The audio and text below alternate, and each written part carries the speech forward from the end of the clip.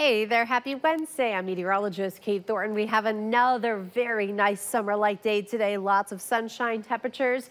It's hot today as we are in the 80s and still feeling a touch humid too.